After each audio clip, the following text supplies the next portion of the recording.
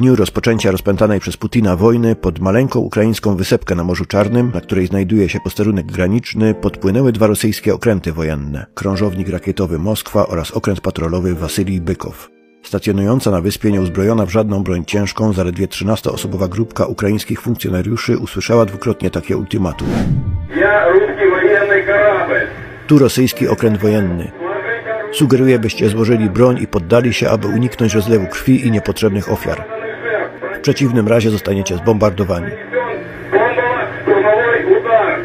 Po krótkiej chwili namysłu ze strony ukraińskiego posterunku pada odpowiedź, która moim zdaniem stanie się prawdziwym symbolem sprzeciwu wobec agresji ze strony Rosji i wielkimi literami zapisze się na kartach historii. Rosyjski okręcie wojenny pierdol się. Po tych słowach rozpoczęła się masakra. Do ostrzału artyleryjskiego z morza dołączyło bombardowanie z powietrza. Niedługo potem jakiekolwiek życie na tym maleńkim, osamotnionym skrawku ukraińskiej ziemi przestało istnieć. Prezydent Ukrainy ogłosił, że wszyscy członkowie tego niewielkiego garnizonu zostaną oznaczeni tytułem bohatera Ukrainy, czyli najwyższym tytułem honorowym kraju. Niestety pośmiertnie.